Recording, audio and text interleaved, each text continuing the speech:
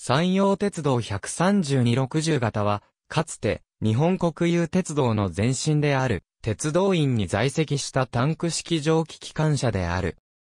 元は、1889年から1901年にかけて、サヌキ鉄道がドイツのホーエンツォレルン機関車から計7両を輸入したもので、1904年の山陽鉄道への事業上と編入を経て、1906年鉄道国有法による買収により国有鉄道席を得たものである。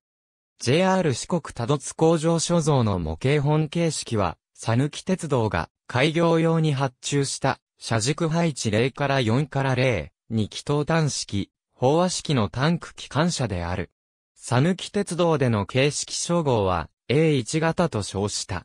本形式は3時にわたって発注されたが、その状況は次の通りである。発注年度ごとに細部に相違があり、煙突のキャップの形状や有無、安全弁の取り付け方法に差異が見られる。初言的には、同時期に、九州鉄道が発注した機関車に類似するが、45型が、サイドタンクとウェルタンクの両方を持っていたのに対して、本形式は、サイドタンクのみである。サイドタンクは、シリンダの後部から運転室まで及ぶ大きなもので、動輪直径が大きいこともあって、腰高な印象である。ドイツにおいて、このクラスの機関車は主に工場内や駅構内での入れ替え用で、このような機関車を一度に3両も発注するのは、どんなに大きな会社であろうかと、メーカーの営業がさらなる売り込みに、さぬき鉄道を訪れたところ、小さな地方鉄道であったので、非常にびっくりしたというエピソードが残っている。1904年の山陽鉄道への営業譲渡後は、同社の形式29に改められ、国有化後の1909年に制定された、鉄道員の車両称号規定では、60型となった。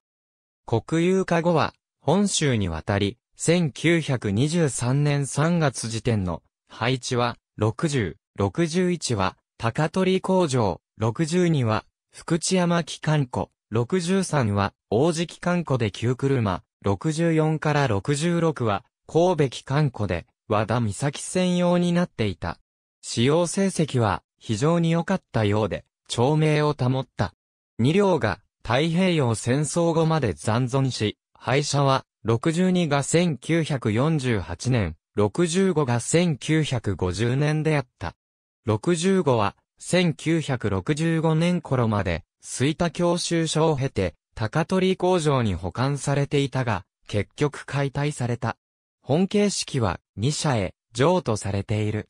1927年、新京阪鉄道に2両が払い下げられ、新京阪線の建設工事と千里山からの土砂、運搬、夜間の補線用工事列車の牽引に用いられた。標準機への改造は、小弱車庫で実施されている。一時は、桂車庫にも流通されていたが、1938年に廃車解体された。1928年、3両が八幡製鉄所に払い下げられ、221から223に解消されている。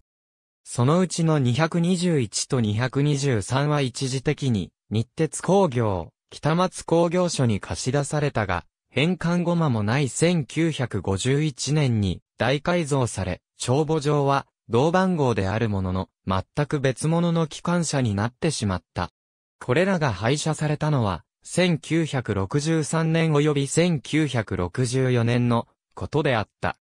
形式図1952年3月から1957年11月頃まで、ハット ABC 山口マスオ、阪急電車 JTB パブリッシング、2012年。86ページ。日本蒸気機関車史施設鉄道編愛による。機関車表でも62、65の2両を除き1927年に廃車されたとされているので、これが正しいと見られる。